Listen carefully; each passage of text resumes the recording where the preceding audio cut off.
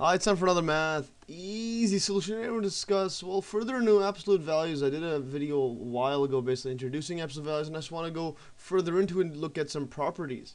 Before I get to the pro properties, I just want to recap on what absolute value is. Basically, the absolute value of, of a uh, of a number a, let's call this a, means basically, well, it's denoted by this with the two vertical lines like this. And what this means, yeah, is just a, the distance from A to uh, basically 0 on a real number line. Or what I mean by that is if you just draw a line like this, we'll call this, let's say, x, whatever. So then if you have here at 0, if you have negative A and A here, and then the distance, this is the absolute value here. So this is all, all absolute value is. So it's just a distance from it, and it's always greater than equal to 0.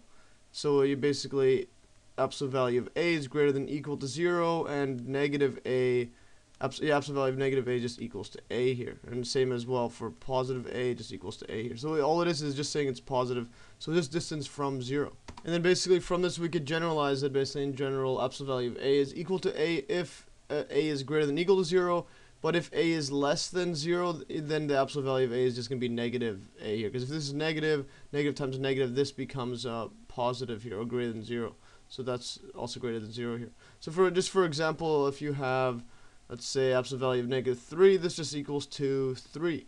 And same as absolute value of 3 is equal to 3, and also absolute value of 0 is equal to 0 here. So it's just a way of uh, denoting just a positive of, of whatever number it is, or the absolute value. So now let's look at some properties here. Basically, I have a list of seven properties here. We'll look at each one step by step here. So let's look at this first one here. This square root of a squared is equal to just absolute value of a. Yes, when we look at uh, the first property here, I'll go through these uh, in a bit. Basically, square root of a squared is equal to a.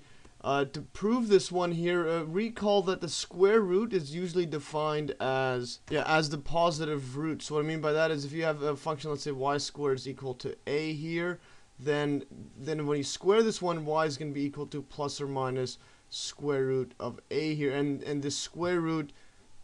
Or uh, yeah, we, we could just take the square root on the other side actually. So we're gonna have plus or minus y is equal to square root of a is the same thing. So basically what this is, so then basically square root of a has two values here, but usually take the positive uh, root here. So what that means is basically square root of, yeah, the square root of uh, basically a here has to be greater than 0, greater than equal to 0. But in this case, we have an, an a squared, so same thing here. So we just put the squared here. So square root of a squared has to be greater than equal to 0. And basically, uh, this square root just means, well, a 1 over a squared to the power of 1 over 2 here. And you could, you can, you could uh, simplify this to being a 2 over 2. This equals to a. So, but this is only true if a is greater than equal to 0 here. Because if a is less than 0, then you're going to have a negative number. But that's that goes against this property here. So then we'll have to uh, put a negative inside. Yeah, so if a is less than 0, then negative a is going to be greater than 0, and then this would be equal to basically negative a here, and this is greater than 0 here. And also, you could just look at this one here. So if you put in, if a was negative here, square root of, uh, let's say, just a negative number, say a, and then when we square this one, whatever you square becomes positive here. So this this inside here is greater than 0. So if you put a negative, it's be it's going to be greater than 0, and then square root that's still going to be greater than 0. Yeah, so thus it always gives you the positive value here, and that's why it's a square root here. And then, and then if we just write it down like this, basically square root uh, of a squared is equal to a if a is greater than equal to 0, and vice versa if it's uh, less than, it's going to be negative a if it's a is less than 0 here. And this is the exact same as absolute value here. So that's all it is. Thus the absolute value is equal to base square root of a squared. Now let's look at uh, property 2 here. Now property 2 basically states the absolute value of a times b is equal to absolute value of a times absolute value of b. This one is pretty straightforward. You can just plug in, let's say, yeah, let's just say if a is greater than equal to 0 for both sides, and this is just basically, it's just going to be a positive number, a times b, and this absolute value of a is a and b. So this one is, is true, because all you're doing just is all just positive here. Yeah, so then if a is less than 0, and then if b is greater than equal to 0, so then this one here, we're going to have a absolute value of of basically a times b. This one is, is negative, remember, so then to make it positive, it's just going to be a times b. So then this equals 2 in this case here, it's going to be negative a and then times it by this this b here. So that's true for this one and vice versa if you have b is less than 0 and a is greater than equal to 0 here. So as you can see it's the same thing. And for property 3 here, this is basically the exact same thing. I'm not going to go over this one. It's the same thing as number 2. We could just do exactly what I did, making a is greater than 0 and b is less than, etc. Because the multiplication division are very related. And now for property 4, this one is actually uh, pretty easy because uh, what is saying absolute value of a, a n, uh, a to the power of n is equal to a, absolute value of a to the power of n. What, well, with any power function here, so if you have, let's say, a to the n here, this, yeah, this does not change it, making it negative or positive. Only this affects it here. So if you have whatever this value is, if a is greater than 0, then a to the n is always going to be greater than 0 here. So it always gives you the absolute value here. So so if, if a is negative in this case, then an absolute value, you're just going to take the positive, and especially this one, you're just going to take the positive of a, because n can't make it negative here.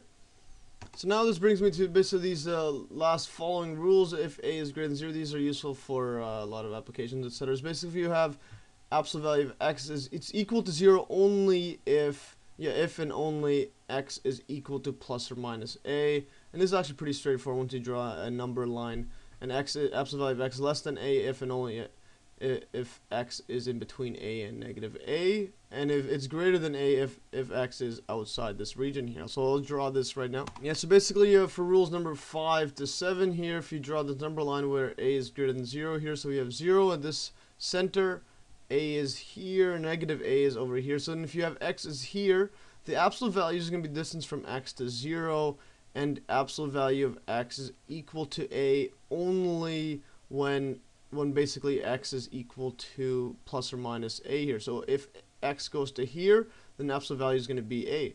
And if, or if x goes to here, the absolute value is going to be a as well here. And this is basically rule 5. And rule 6 is basically saying uh, absolute value of x is less than a, that's that is only only when x is in between a and negative a here. So it so because this is the absolute value of a, this this value is a, and this also this value is also a as well because it's positive or absolute value. Same thing. So then if you it's the only way it's true is if x lies in between you You can just see it clearly here because this is less than this. If if basically in this case x is less than a, less than, uh, greater than equal to negative a. And also, uh, it's greater than. This is this is rule six. Yeah, basically rule seven states it's uh, the opposite of this one. Basically, absolute value of x is greater than a if x lies less than a or greater than a, um, less than negative a or greater than a. So that's basically if x lies anywhere in, here, if that's x or this is x, etc. As, as you can see, it's less than negative a, and this one is greater than a. So as you can see, from here to here, you're gonna have a bigger absolute value. Well, uh, that's all for today. Hope you learned about these uh, these properties. Just basically uh, clarify some absolute value properties. Uh, later, I'll do some examples using absolute values. Yeah, hopefully you learned and uh, recapped on absolute value. That's all for today. You can download these notes in the Dropbox link below. And yeah, stay tuned for another math easy solution.